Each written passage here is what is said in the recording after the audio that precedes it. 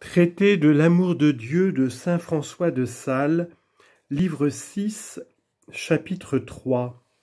Description de la contemplation et de la première différence qu'il y a entre celle-ci et la méditation. Théotime, la contemplation n'est autre chose qu'une amoureuse, simple et permanente attention de l'esprit aux choses divines ce que vous entendrez aisément par la comparaison de la méditation avec elle.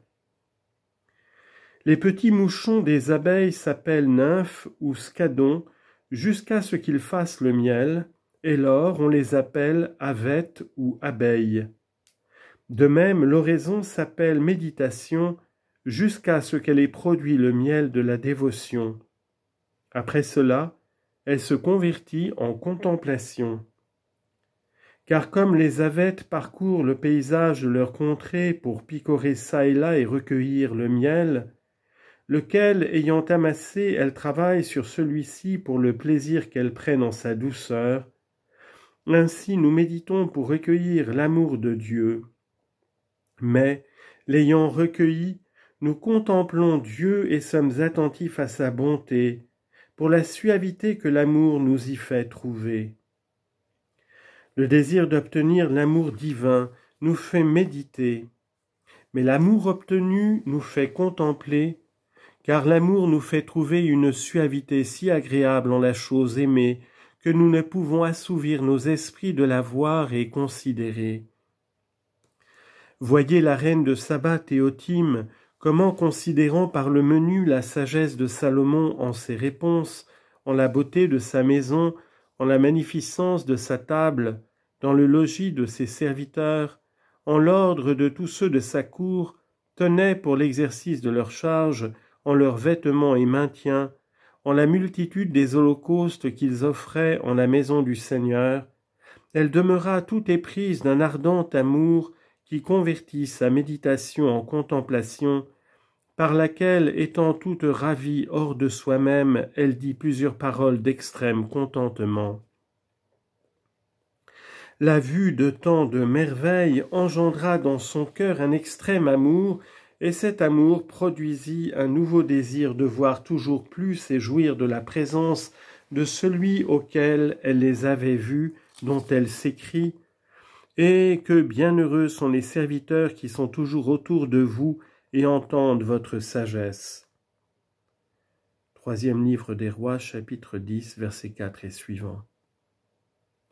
Ainsi nous commençons quelquefois à manger pour exciter notre appétit, mais l'appétit étant réveillé, nous poursuivons à manger pour contenter l'appétit, et nous considérons au commencement la bonté de Dieu pour exciter notre volonté à l'aimer.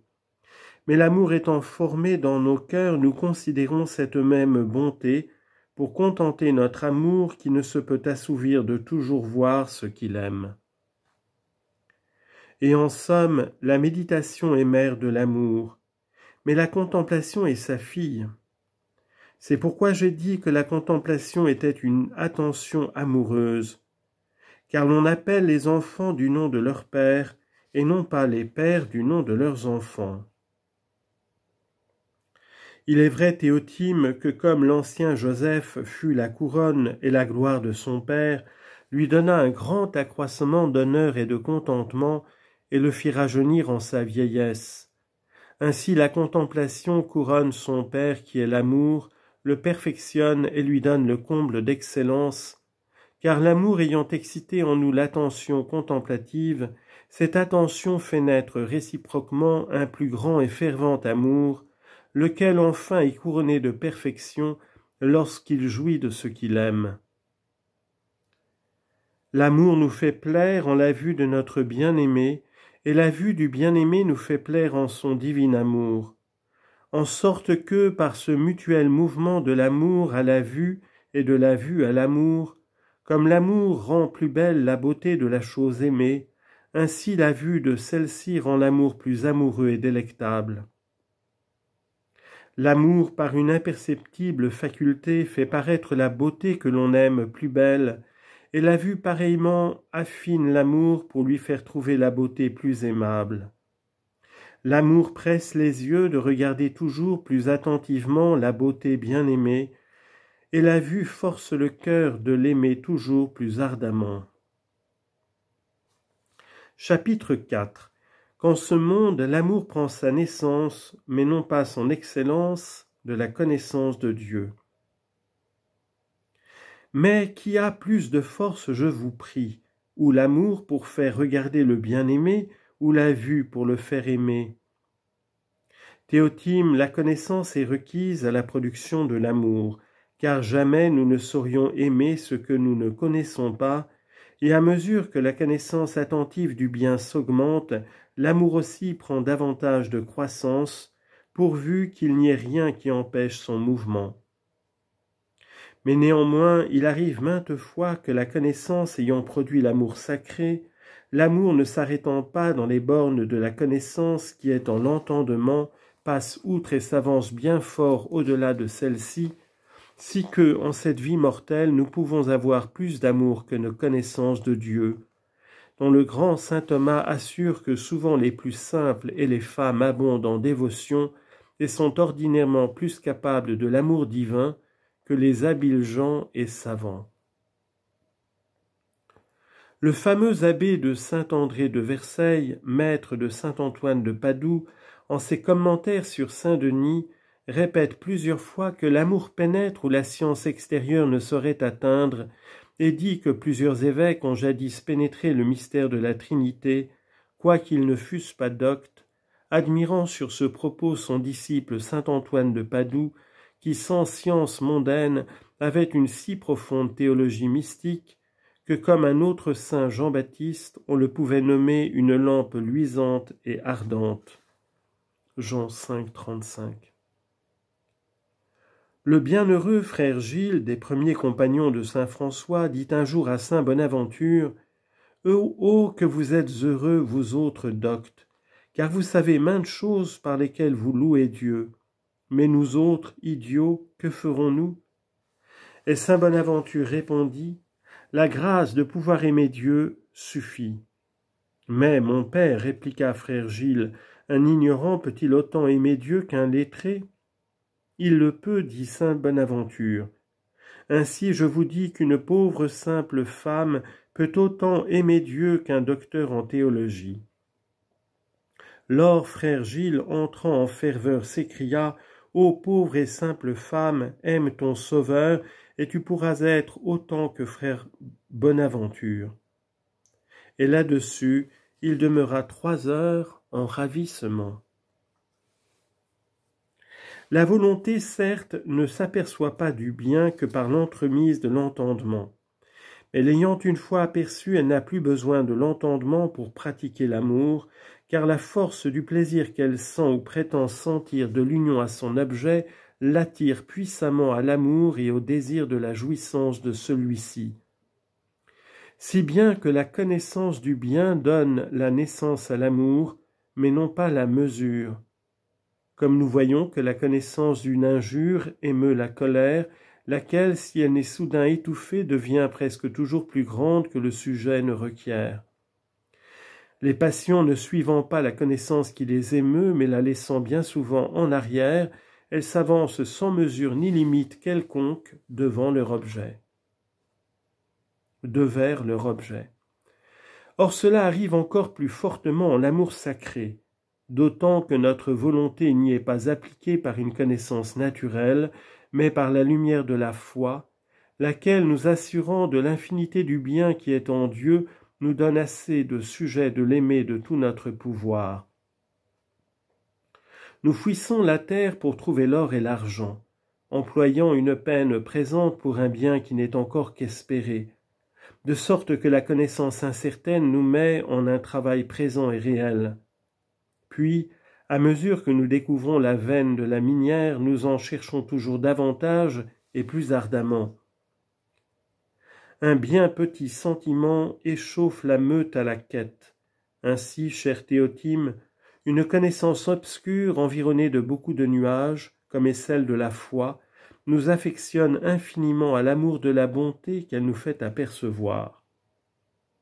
Or combien est-il vrai, selon que saint Augustin s'écriait, que les idiots ravissent les cieux, tandis que plusieurs savants s'abîment dans les enfers. À votre avis, Théotime, qui aimerait plus la lumière ou l'aveugle né qui, qui saurait tous les discours que les philosophes en font et toutes les louanges qu'ils lui donnent ou le laboureur qui d'une vue bien claire sent et ressent l'agréable splendeur du beau soleil levant Celui-là en a plus de connaissance et celui-ci plus de jouissance. Et cette jouissance produit un amour bien plus vif et animé que ne fait la simple connaissance du discours. Car l'expérience d'un bien nous le rend infiniment plus aimable que toutes les sciences qu'on en pourrait avoir. Nous commençons d'aimer par la connaissance que la foi nous donne de la bonté de Dieu, laquelle, par après, nous savourons et goûtons par l'amour. Et l'amour aiguise notre goût, et notre goût affine notre amour, si que, comme nous voyons entre les efforts des vents les ondes s'entrepresser et s'élever plus haut comme à l'envie par la rencontre qu'elles font l'une de l'autre, ainsi le goût du bien en rehausse l'amour, et l'amour en rehausse le goût, selon que la divine sagesse a dit, ceux qui me goûtent auront encore appétit, et ceux qui me boivent seront encore altérés. Ecclésiaste 24, 29. Qui aima plus Dieu, je vous prie, ou le théologien Occam, que quelques-uns ont nommé le plus subtil des mortels, ou sainte Catherine de Gênes, femme idiote. Celui-là le connut mieux par science, celle-ci par expérience, et l'expérience de celle-ci la conduisit bien avant en l'amour séraphique, tandis que celui-là avec sa science demeura bien éloigné de cette si excellente perfection. Nous aimons extrêmement les sciences avant que nous les sachions, dit saint Thomas, par la seule connaissance confuse et sommaire que nous en avons. Il faut dire de même que la connaissance de la bonté divine applique notre volonté à l'amour, mais que, mais depuis que la volonté est en train, son amour va de soi-même croissant par le plaisir qu'il sent de s'unir à ce souverain bien avant que les petits enfants aient tâté le miel et le sucre, on a de la peine à le leur faire recevoir en leur bouche. Mais après qu'ils ont savouré sa douceur, ils l'aiment beaucoup plus qu'on ne voudrait, et pourchassent éperdument d'en avoir toujours.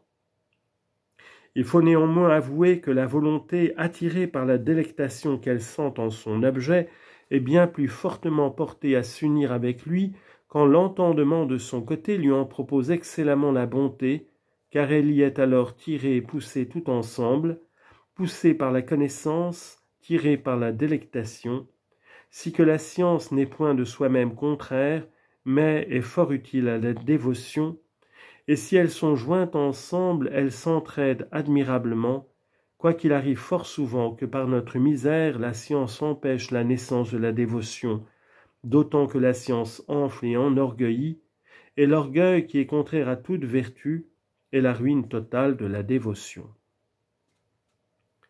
Certes, l'éminente science des Cypriens, Augustin, Hilaire, Chrysostome, Basile, Grégoire, Bonaventure, Thomas, a non seulement beaucoup illustré, mais grandement affiné leur dévotion, comme réciproquement leur dévotion a non seulement rehaussé, mais extrêmement perfectionner leur science.